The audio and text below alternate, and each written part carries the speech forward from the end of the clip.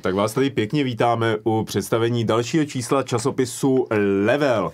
Tohle je Martin Bach, já jsem Čau. Pavel Dobrovský a tady to je level číslo 332. A Martin má taky level a tady to je taky level 332. 332. A máme dvě krásné obálky, protože jsme si nemohli vybrat, kterou českou hru eh, dáme na titulku, tak jsme si řekli, dáme tam v obě. Je to tak, když nevíš, tak prostě jdi do obou eh, možností a měli jsme tuhle tu možnost a děkujeme za to naší tiskárně, že nám vlastně tohoto umožnila. Obě jsou uh, s tím parciálním lakem, jak už jste zvyklí. Já se to pokusím to nějak na, na to, aby, aby bylo vidět. Uh, takže málo kdy se stává, že by vyšly jako dvě české takhle dobré hry během jednoho měsíce a nám připadalo hmm. líto, protože autory obou těch her známe a připadalo nám líto prostě si vybírat mezi nima, to je jako prostě si vybírat, jako taková Sofína volba. Prostě víš, že někoho urazí. Přesně. Jako. A tak jsme si tak jsme vyřešili šalamounsky, tak říkajíc, a uh, udělali jsme dvě obálky. Uh, vnitřek samozřejmě je stejný, je potřeba to zdůraznit. Není to tak, že v tomhle levelu je víc o bzd a v tomhle levelu je víc o Last Train Home, ale uh, je na vás, jak, je, do distribuce to jde úplně uh, náhodně, to znamená Aha. i předplatitelé dostanou náhodně Aha. jedno z těch časáků, jednu z těch obálek a na stáncích to najdete úplně náhodně dostrušený, podle prostě je to zhruba půl na půl takže by neměl být problém sehnat, kdybyste náhodou chtěli ze sběratelských důvodů obě dvě, tak eh, to není, to, to není potíž. Přesně kvůli tomu jsme to udělali, aby jsme měli dvojnásobný prodej toho časopisu, no, zejména u sběratelů. Ale pojďme se podívat dovnitř, eh, protože tam čeká spousta eh, zajímavých materiálů a já upozorním, Martin otevírá obálku z bzd. Jo. To je no. bzd a máme tady samozřejmě, to jsme vydali knížku 50 let videoher, tomu se budeme věnovat ve speciálním videu. Chceš uh, a rozhovor? rozhovor, eh, Určitě. který tady je, tak eh, souvisí s Bzd a je s Karlem Matějkou. Karel Matějka je focený v tom samém studiu, ve kterém tady právě teď natáčíme, jak je vidět z toho obložení a má v ruce Gameboye, protože je to old timer nebo old schooler nebo veterán herního vývoje a přesně tomu se v rozhovoru věnujeme. A to sice zkušenostem, který Karel za uplynulých oh, čtvrtstoletí, 30 let nabral od doby, co vydal kolony 28 roku 1997 do současnosti a, a jak se to promítlo na té jeho nejnovější hitovce Bzd, Eh, která vznikla vlastně po té, co prošel i korporátním prostředím a vrátil se zpátky k nějakému nezávislému vývoji. A eh, je dobrý eh, taky říct, že Bzd se v současnosti stala hrou číslo jedna mezi jako Hidden Gems. Hidden Gems, Hidden no. Gems je, je takový žebříček, který kluci našli, který vlastně označuje hry, které nemají ani jednu negativní recenzi ano, a, podle ano. Poč- a jsou seřazený podle počtu recenzí a BZT v tuhle tu chvíli na prvním místě na prvním, a teď je potřeba vlastně stojí všichni před výzvou, jak z toho uh, škrtnout to slovo hidden a být opravdu ten jam a na tom pracuje mimochodem i Lukáš Macura a Cinemax, který vlastně jsou, uh, jak to říct, jako producenti nebo prostě, no, tak tyhle hry a uh, chystají prostě další porty a takové věci. Takže myslím že Bzd má před sebou jako, jako našlápnuto. Je to ano. prostě hra, která jako uh, rozhodně oslovila tu komunitu u, kolem toho pixel artu, kde, prostě, kde Karel je jako poměrně známý i jako celosvětově, dá se říct, a jeho Twitter je prostě plný eh, plný prostě lidí, kteří se o pixel art zajímají. Já ukazuju na ten časopis, proč je přesně tomuhle se nám vědujeme taky. Co je to vlastně pixel art, nějaká definice, jeho zákony a jak se v té komunitě uh, udržet, jak se tam dostat. K samozřejmě tady máme recenzi, Jasně. máme tam esej, a máme tam uh, taky uh, velký dlouhý text o hře, která je úplně na jiném uh, na jiný části no. spektra než uh, Bzit, to znamená, není až tak roztomilá uh, a namísto toho, uh, abyste v ní nepřátelé přeskakovali, tak je zabíjíte brokovnicí. A je to text od Honzy Olejníka, který se věnuje 30 uh, letům Důmu. Důma. Důma. Důma. Dům. Dům. 30 let Dům. po kolena v mrtvých už tři dekády a uh, Honza se tady uh, věnuje na ploše 8, 6 stránek tomu, co vlastně znamenal Dům nejenom pro tehdejší dobu, ale jaký jsou jeho dozvuky do dneška. Myslím si, že krom toho, že to je takový ten fajnový schrnující text, ve kterém se to hodně dozvíte o téhle hře, tak opět je tam nějaký přesah, co ten Dům znamenal, proč je vnímaný jako revoluční a co nám může říct do dneška o hrách i o hráčích. Dlouho jsme něco takového neudělali. Jsem jo, rád, jo, my se, my se, jako on se, jsem u toho Duma se to fakt nabízí a teď on to opakuje, dá se říct jako všichni, hmm. uh, ale uh, myslím si, že tenhle článek je, ne, neříkám, že nevíde nikde nic jako stejného nebo takhle prostě, ale uh, pro mě to bylo příjemné připomenutí toho, co vlastně Doom v té době znamená. Já nejsem žádný takový obří fanoušek Dooma, abych jako si řekl, uh, vím tohle všechno. Rozhodně tam hmm. byly věci, které, jako, já jsem nevěděl, že, uh, že Microsoft chtěl koupit i software jako kdysi, prostě, jo, jo, jo. že se mu to vlastně povedlo až no, po, jasný x eh, desítek let později. tak vlastně takové věci jsem nevěděl, věřím tomu, že úplně hardcore fanoušci Duma tohle vědí a mají to najetý, ale jako pro mě to bylo zajímavé. Zajímavé také je, že ten level dneska je 14.12., co děláme video a myslím to výročí bylo 10.12. Jo, no. to ani nevím. Že jsme to takhle Takže jako, jsme to úplně takhle vlastně krásně krásně. Tak, tak jo, Martine, já otevřu ten druhý level. úplně uh, něco jiného. Úplně něco jiného. Je tam rozhovor s autory Last Train Home. Ty, ale bylo by to hustý udělat to takhle. Jako. Ale každopádně eh, tady najdu Last Train Home. Ať se, eh, ale teda musím to najít. Teď zrovna jsem našel bzd recenzi a esej a to jsem nechtěl. Tak zatímco Martin hledá, tak já ukážu, že máme to samozřejmě plagáty, takže já jsem začal ukazovat plagáty Robocopa, O tom bude velký text v příštím levelu ve 333. Nejen o Robocopovi, ale o těch akčních hrdinech z 80. A Last Train Home. Takže plagát Last Train Home a tady... Esej Last Train Home a uh, téma Last Train Home. Uh, takže vlastně uh, opravdu zase tuhle tu hru pokrýváme uh, od zhora dolů. Uh, za mě žánrově je to trošku jako mimo můj záběr, ale hrozně se mi líbí vlastně celá ta, celá ta uh, celý ten setting té hry hmm. a to vlastně, eh, jakým způsobem uh, tam s tím autoři pracují a uh, přemýšlím, že bych i vlastně, i vlastně takovouhle věc, přestože vlastně žánrově mi to není blízký, takže bych si zahrál a rozhodně je to super, že v Čechách takováhle hra, hmm. takováhle hra vznikla a podle ohlasů i z ciziny to je velice úspěšný a uh, se to prostě povedlo. Já teda musím říct, že k legionářské tématice mám poměrně blízko. I Legiovlak a tak dále, bitvy Uzborova hmm. a takové věci jsem navštívil a znám lidi z československé obce legionářský, takže mám velikou radost, že tahle hra vyšla, že se konečně někdo chopil uh, téhle tématiky a vlastně to, je to takový trošku jako absurdní, že to udělali herní vývojáři dřív, než to udělali třeba filmaři, hmm. kteří by hmm. se mohli to, chytit tohle tématu, protože ta eh, celá ta, celý ten přesun přes Sibiř je neuvěřitelný a plný nejrůznějších uh, zajímavých příhod a dobrodružství, který ta hra nespracovává jmenovitě, ale nechává se jimi velmi inspirovat.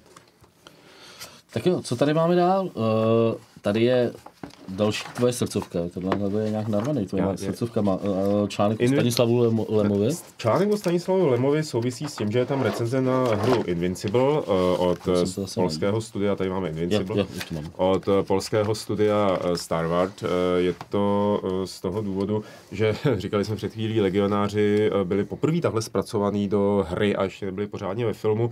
U Lema se dá říct něco podobného, i když jeho dílo bylo sfilmováno v mnoha případech, Solaris je asi nejznámější, tak do her se nedostal. Nikdy.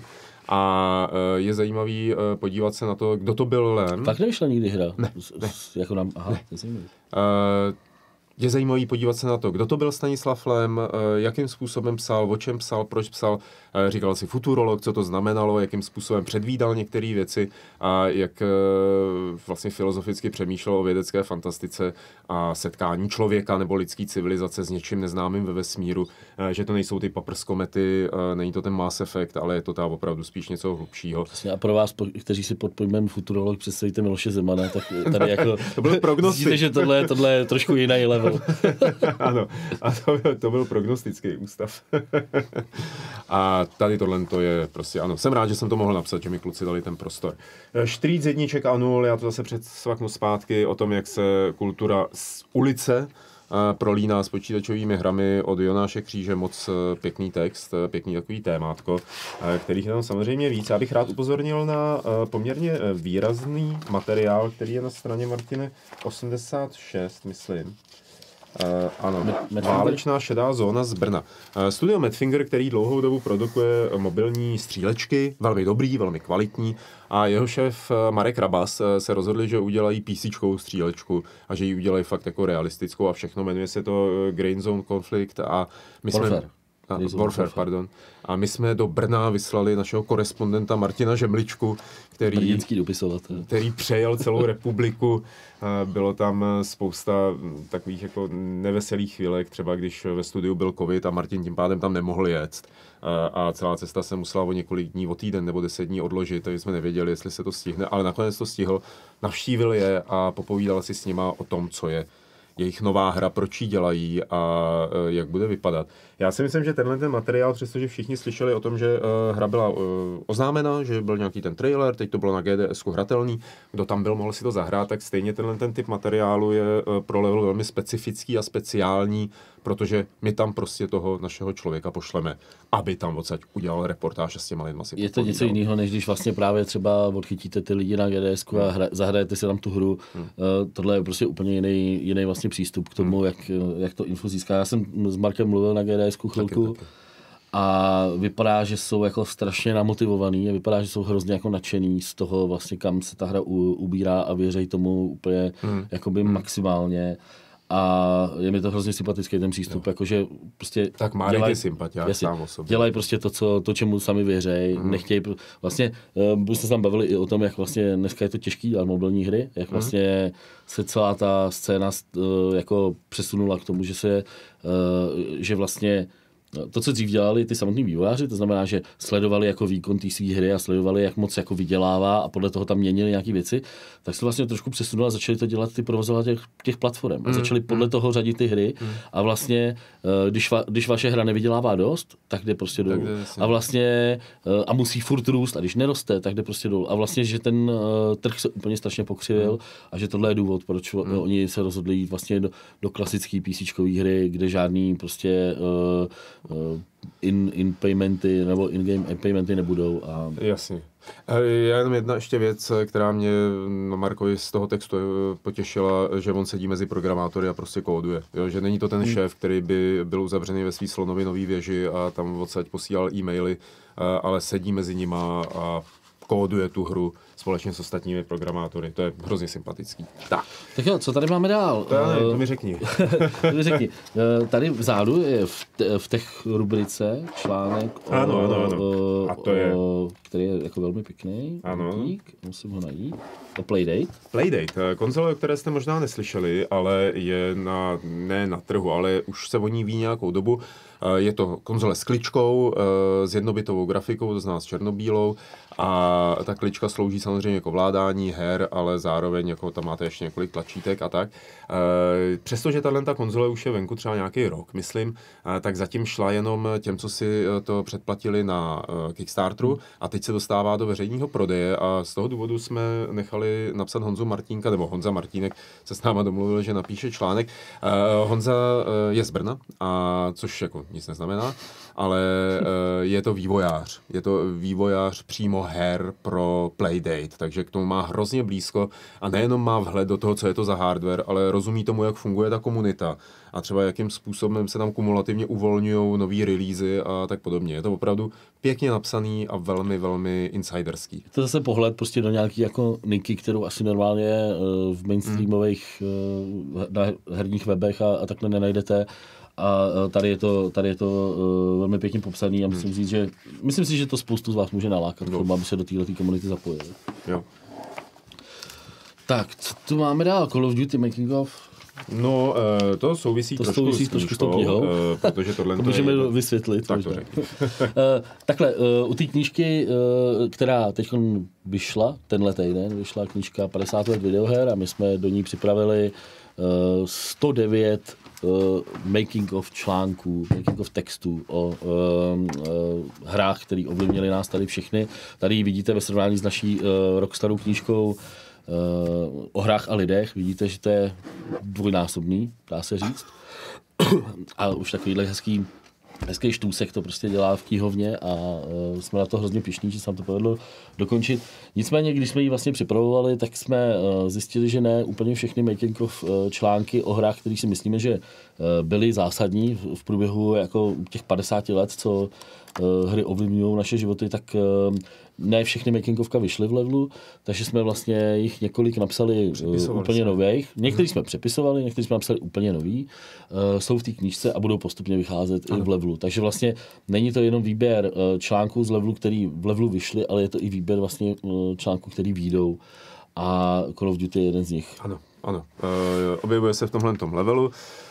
Je to typický příběh vývoje hry, vlastně nic, co byste asi od toho Eh, nic, co by vás překvapilo, eh, co se týče eh, toho žánru, ale samozřejmě jsou tam takové perličky jako o Stevenu Spielbergovi a tak podobně v tom vývoji. Tak, já si myslím, Martine, že můžeme ještě jako stručně říct, že recenzujeme Super Mario RPG, Robocop Rogue City, uh, že tam jsou další a další recenze, a že to by možná stačilo pro tenhle ne? Uh, tohle ještě, ještě, ještě poslední věc, jo, poslední věc, tenhle ten článek uh, se, mi, uh, se mi hrozně líbil uh, a uh, napsal ho Jakub Žežule a uh, věnuje se tomu, jestli vlastně žijeme v nejlepší, nebo v úzovkách se dá říct, jestli žijeme eh, v nejlepším, jestli zažíváme aktuálně nejlepší herní rok za mm-hmm. hodně dlouhou dobu a jak vlastně jakoby vybrat uh, hru roku a jak, mm. kde se vlastně, kde vlastně se tenhle ten titul uh, jako, kde přichází ten konsenzus, mm-hmm. že, že vlastně tohle je ta hra roku. Eh, je, ta, je statistika z Metacritic, která ukazuje, že opravdu letošní rok je hodně silný. Uh, souvisí to pravděpodobně s tím, že během covidu, kdy vlastně um, hry začalo hrát opravdu hodně lidí a herní firmy začaly, začaly být Eh, jak to říct, jako prostě hodně optimistický, uh, zainvestovali hodně prostě do, do zajímavých lidí. Teď to má ty dopady, vycházejí ty dobré hry a, a vývojáři vyhazují. se lidi. No, jako je to prostě asi přirozený důsledek toho, ale opravdu z pohledu toho, jak se na to můžete dívat vy jako hráči, tak uh, to, to, to, tohle je vlastně graf her, který mají Metacritic hodnocení více jak 90 a tohle jsou jako jejich počty a tohle je vlastně aktuální rok, jo. Hmm. takže vlastně hmm. je vidět, že letošek je za posledních 20 let jako uh, pomalu nejsilnější, nejsilnější hmm. rok.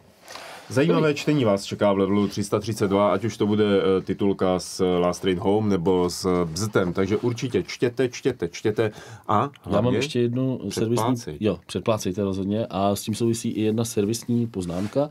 Další level vyjde 15. února a uh, bohužel se s ním bude uh, pojít jedna neúplně příjemná zpráva, hmm. budeme muset zdražit. Hmm. Uh, my jsme vlastně level na této ceně těch 149 korun drželi uh, několik posledních let.